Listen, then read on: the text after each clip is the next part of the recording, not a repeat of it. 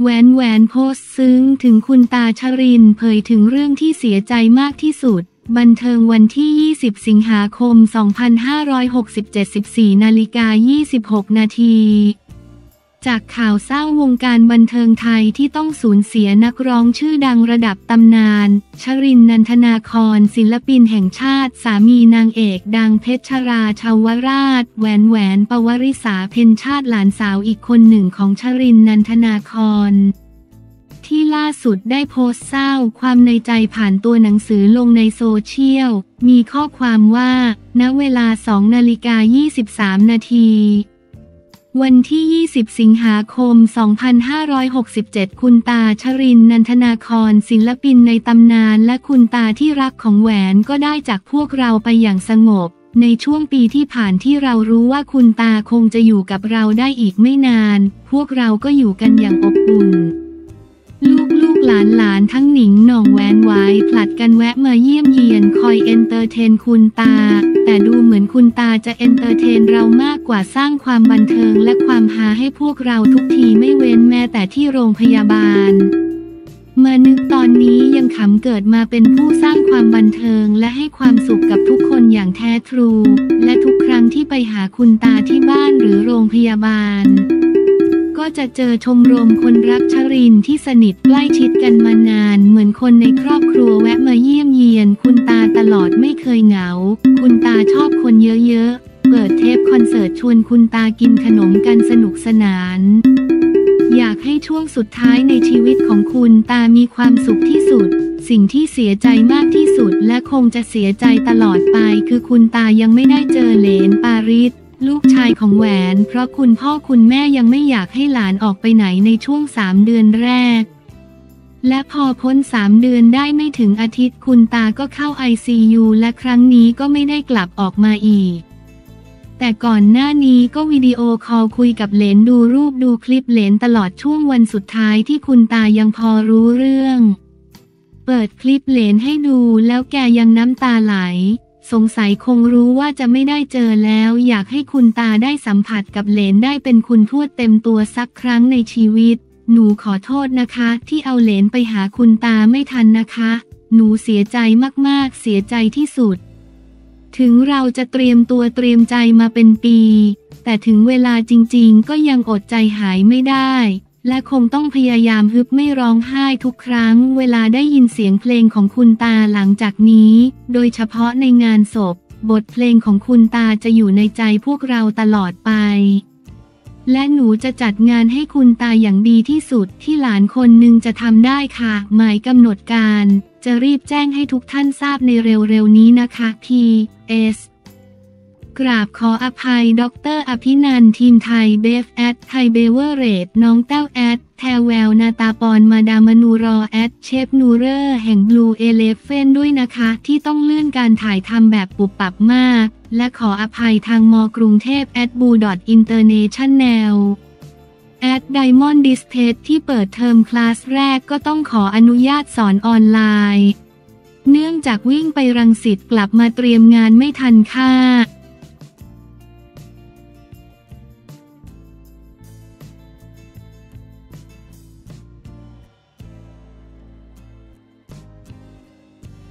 ายกรัฐมนตรีถก เศรษฐา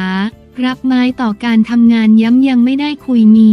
บิ๊กป๊อตร่วมคณะรัฐมนตรีหรือไม่การเมืองวันที่ 19 สิงหาคม 2567 15นาฬิกา24 นาที นายกรัฐมนตรีแพทองทานเผยหารือ เศรษฐา ส่งต่อการทำงานยอมรับให้พักร่วมส่งรายชื่อรัฐมนตรีพรุ่งนี้ บอกยังไม่ชินถูกเรียกนายกรัฐมนตรีปัดตอบคณะรัฐมนตรีชุดนี้มี วงสุวรรณร่วมด้วยหรือไม่เมื่อเวลา 14นาฬิกา14 นาที วันที่ 19 สิงหาคม 2567 ผู้สื่อข่าวรายงานว่านายเศรษฐาทวีสิน อดีตนายกรัฐมนตรีเดินทางเข้ามายังอาคารชินวัตรสามผู้สื่อข่าวถามว่าเข้ามามีประชุมอะไรหรือไม่นายเศรษฐาไม่ตอบได้ แต่ยิ้มให้สื่อมวลชนจากนั้นเวลา 14 นาฬิกา 30 นาที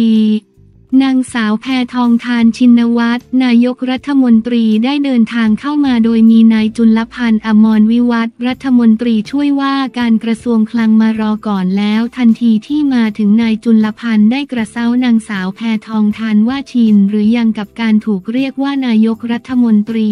ซึ่งนางสาวแพทองทานตอบว่ายังไม่ชินผู้สื่อข่าวถามว่ามีการนัดประชุมกับนายเศรษฐา ซึ่งเดินทางเข้าก่อนหน้านี้ใช่หรือไม่ นายกรัฐมนตรีกล่าวยอมรับว่าใช่จะมาคุยกันเรื่องงาน ซึ่งเป็นการส่งมอบและส่งต่องานว่าอะไรอยู่ตรงไหนบ้างแล้ว ก็คุยกันเรื่องงานไม่มีอะไรผู้สื่อข่าวถามว่านายภูมิธรรมเวชยชัยรองนายกรัฐมนตรีปฏิบัติหน้าที่แทนนายกรัฐมนตรี ระบุจะให้พักร่วมรัฐบาลส่งรายชื่อบุคคลที่จะมาเป็นรัฐมนตรีให้กับนายแพทย์พรมมิน เลิศสุริเดชภายในวันพรุ่งนี้ วันที่ 20 สิงหาคม นายกรัฐมนตรียอมรับว่าได้มีการพูดคุยกันเมื่อถามว่านายกรัฐมนตรีมีอำนาจตัดสินใจเด็ดขาดในการตั้งคณะรัฐมนตรี ล่าสุดมีข่าวว่าในสัดส่วนของพรรคพลังประชารัฐพลตำรวจเอก พัชรวาดวงสุวรรณจะไม่ได้รับตำแหน่งในคณะรัฐมนตรีครั้งนี้ นายกรัฐมนตรีกล่าวปฏิเสธว่ายังไม่ได้คุยกันเลยคำตอบเหมือนกับที่พูดไว้เมื่อเช้านี้ ว่ายังไม่ได้ตกลงอะไรกันเลย ถ้ามีอะไรอัปเดตจะมาบอกอีกครั้ง อย่างไรก็ตามน่าสังเกตว่าการประชุมร่วมกันระหว่างนายเศรษฐากับนางสาวแพทองทาน และคณะทำงานมีพลตำรวจเอกกิจรัตพันเพชรรองผู้บัญชาการตำรวจ เดินทางเข้ามาที่อาคารชินวัตร3ด้วย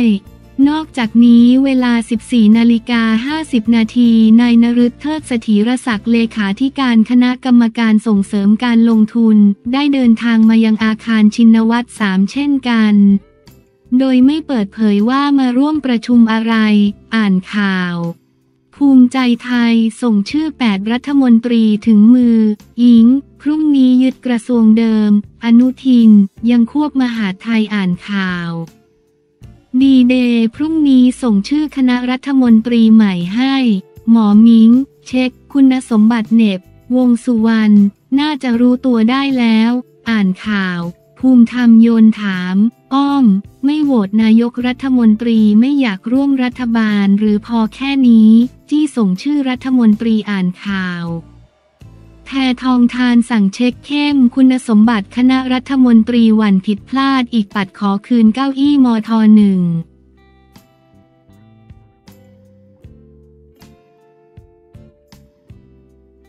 ชรินจัดคอนเสิร์ตใหญ่ชรินอินคอนเสิร์ตหมายเลข 1970 ปีที่โลกไม่ลืมบันเทิงวันที่ 1 กันยายน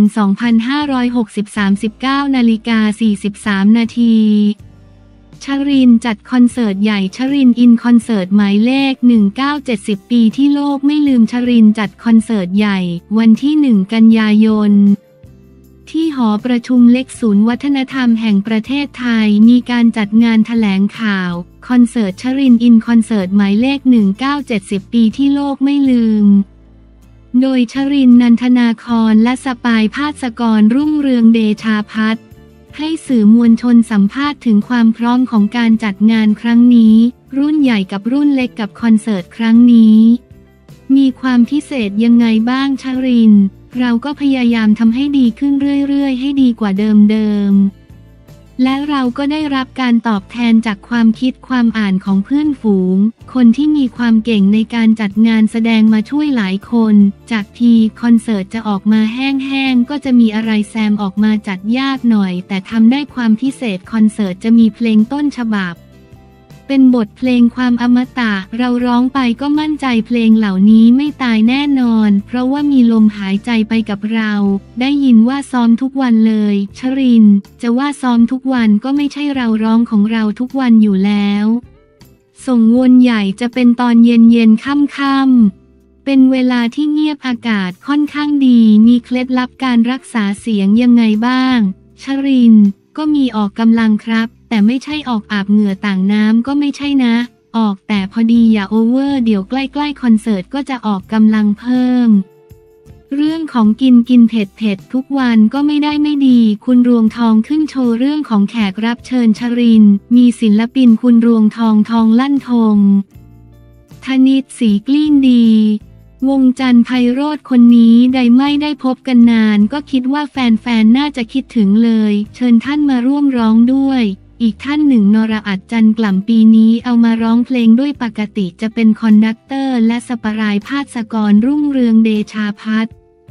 มาร่วมร้องด้วยเป็นตัวแทนคนรุ่นใหม่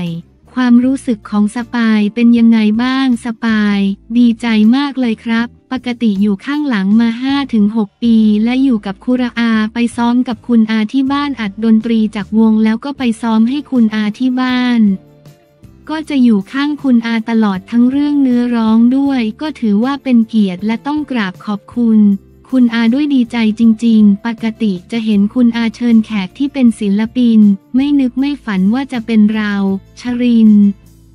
จนกระทั่งคอนเสิร์ตเราเอะอะอะไรก็เรียกหา แต่สปารายสปารายคิดอะไรไม่ออก ก็เรียกสปารายก่อน เขาคอยจัดอะไรไม่ให้ขาดตกบกพร่อง เลือกเพลงที่จะร้องไว้แล้วสปาย เลือกแล้วครับ ก็จะมีเพลงไกลบ้านและก็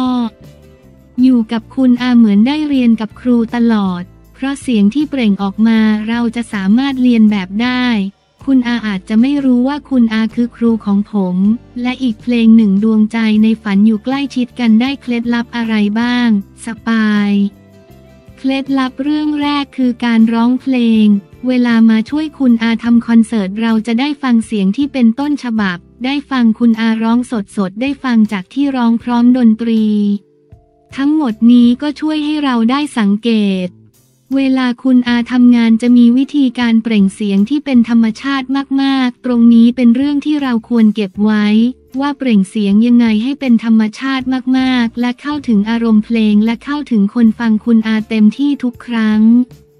หรือแม้แต่ซ้อมหรือวันจริง ๆ ก็ตาม ทุกคนจะสัมผัสได้ว่าเต็มที่มากๆ ชริน เป็นอาชีพที่เราชอบมากเลย อาชีพร้องเพลงนี้ผมปรารถนาจริง ๆ มีคนช่วนผมทำนั่นนี่ค้าขายก็ด้วย แต่ผมก็ชอบร้องเพลงนะ คุณอาเลือกเพลงมายังไงบ้างคัดเน้นๆมาเลย ชริน มีสองคัดสามคัดเลยนะ คนใกล้อย่างเพชรราชาวราช เขาจะบอกเพลงนี้ดีน่าจะเอาไปร้องนะ แสดงว่าเพลงที่เราร้องข่าวท่านะ ก็จะมีเพลงผู้ชนะสิบทิศเรือนแพ อาลัยรักเดียวดายท่าฉลอมมีอีกครับ ก็ขอฝากคอนเสิร์ตครั้งนี้ไว้ด้วย จัดขึ้นที่หอประชุมใหญ่ศูนย์วัฒนธรรม วันที่ 10 และวันที่ 11 ตุลาคมจัดจำหน่ายที่ไทยทิกเก็ตเมเจอร์ครับ อ่านข่าวเพชรา รับรางวัลศิลปินแห่งชาติชรินทร์เล่าเสียงสั่นทั้งน้ำตาที่รู้ว่าภรรยาตาบอด